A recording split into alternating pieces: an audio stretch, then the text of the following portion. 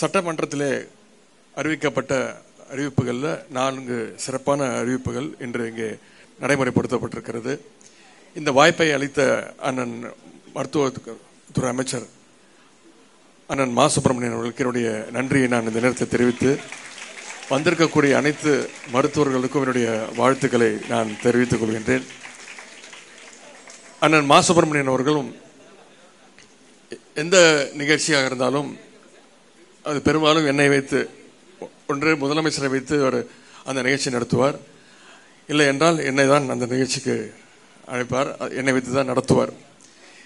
ஏனென்றால் மக்கள் நல்வாழ்வுத்துறையும் என்னுடைய துறை விளையாட்டுத்துறையும் ஒன்றோடு ஒன்று ஒட்டி பிணைந்தது. விளையாட்டுத்துறை நன்றாக இருக்க வேண்டும் என்றால் மக்கள் நல்வாழ்வுத்துறை நன்றாக இருக்க வேண்டும். மக்கள் நல்வாழ்வுத்துறை நல்லா இருக்கணும்னா விளையாட்டுத்துறை சிறப்பாக இருக்க வேண்டும். எனவே என்னுடைய துறையும் அவருடைய துறையும் ஒன்றோடு ஒன்று நாங்கள் டிபெண்டாக இருக்கிறோம். அந்த மாதிரி தான். அதே போல் இங்கே இந்த மருத்துவமனையில் பல்வேறு திட்டங்கள் பல்வேறு வசதிகள்லாம் செஞ்சு கொடுத்ததுக்காக எனக்கு நன்றி சொன்னாங்க. நான் தான் அவங்களுக்கு நன்றி சொல்லணும். ஏன்னா இது சேப்பாக்க திருவல்லிக்கேணி தொகுதியில் இருக்கக்கூடிய மருத்துவமனை. நம்மளுடைய தொகுதியில் இருக்கக்கூடிய மருத்துவமனை. எனவே உங்களுடைய சேவை இன்னும் மேன்மேலும் சிறக்கட்டும். நான் பலமுறை சொல்லியிருக்கிறேன். கலைஞருடைய பேர் எனக்கு கடவுள் நம்பிக்கை கிடையாது.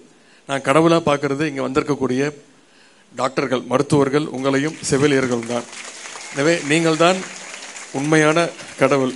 எனக்கு தெரிந்த க- கண்ணுக்கு தெரிந்த கடவுள் நீங்கள் தான் என்பதை கூறிக்கொண்டு மீண்டும் இந்த நான்கு திட்டங்கள் இதை சிறப்பாக மக்கள்கிட்ட கொண்டு போய் சேருங்க. உங்களுடைய மருத்துவ பணி சிறக்கட்டும் என்று கூறிக்கொண்டு வாய்ப்புக்கு நன்றி கூறி மீண்டும் நம்முடைய அமைச்சர்களுக்கு நன்றி கூறி விடைபெறுகின்றேன். நன்றி வணக்கம்.